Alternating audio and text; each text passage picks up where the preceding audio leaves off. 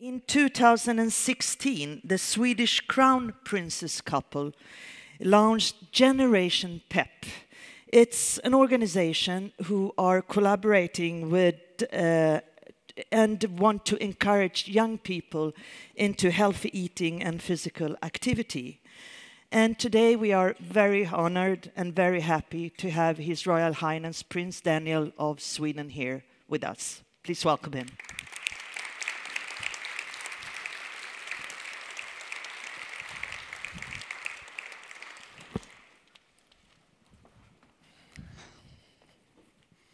Tack så mycket.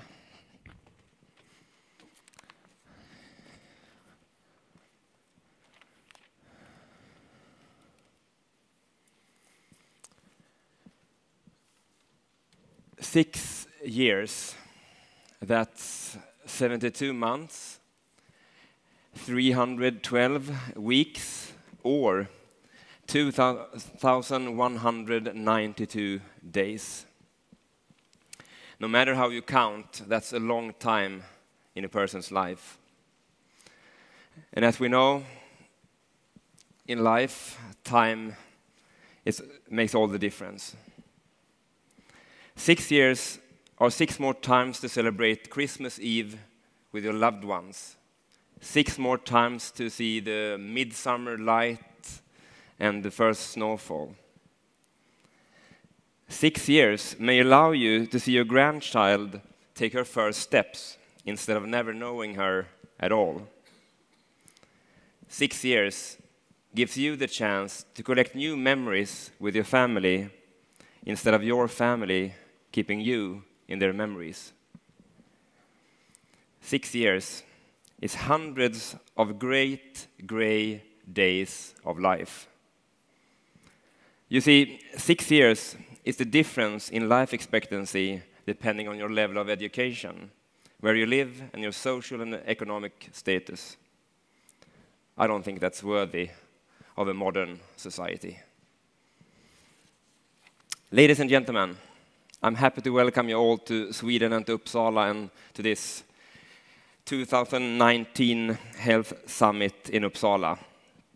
The topic of this year's is something that lies close to my heart and a topic that is of great importance and an issue that is not getting the attention it deserves. One of the issues of today that is getting the attention it deserves is climate change, and rightly so. Almost every day, people around the globe are, are protesting to demand action to save our planet. This is super inspiring. And imagine if we could create the same awareness and action regarding our health. Then we might have the chance not only to save our planet, but also ourselves. We have seen a shift in norms where a more sedentary lifestyle is the new normal rather than an exception. Nowadays, physical activity is something you add and not something natural, like a part of your everyday life, which it should be. We can also see the health gaps between groups of children in Sweden are increasing if your parents were born in Sweden and have uh, university degrees, you are more likely to, to live a healthy life than if your parents were, were born somewhere else or don't have a higher education. Why is it that we can't seem to promote a healthy lifestyle for our children that is both achievable and sustainable for all? Why is it that parents feel scared to let their kids take the bike to school?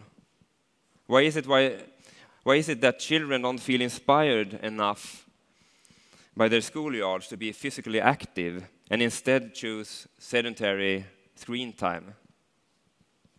Can some part of the answer lie in how we build and plan our communities?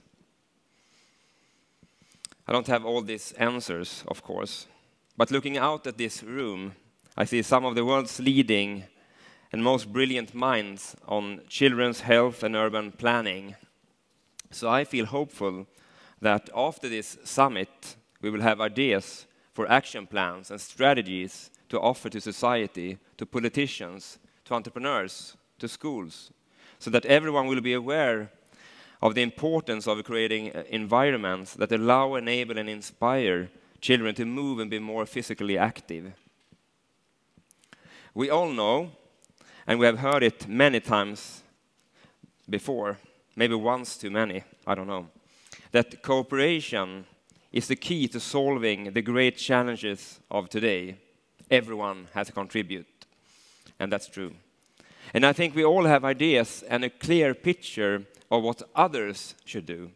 I definitely do. But we also need to ask ourselves, what am I doing? This question was one of the main reasons why the Crown Princess and I took the initiative to start the organization Generation PEP in the summer of 2016. We wanted to create a movement that could not only put the issue of children's physical health on the agenda, but also inspire companies, organizations, and leaders and individuals to act and be part of the change. Today, three years later, I'm happy to say that we have taken some steps in the right direction, but everyone here knows it's very hard. Um, we have over 1,100 schools that are registered in PEP School, a digital tool that helps school work with physical activities and healthy food. We have more than 300 organizations and companies that have dedicated themselves uh, to our vision. By working together, we have also put the issue on children's physical health higher on the agenda. However, we are far from reaching our goal that every child in Sweden should have the motivation and opportunity to have a healthy life, lifestyle. And that, that is why we need to step it up and create a full-grown movement where we reach every parent and every child in Sweden with our message. And I hope this day will take us one step further. Ladies and gentlemen, I am hopeful.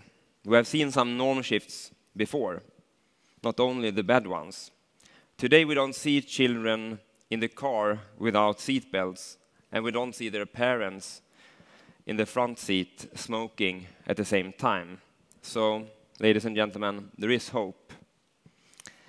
Thank you and good luck with your important work. I'm very happy to be here today, share this day with you. Thank you.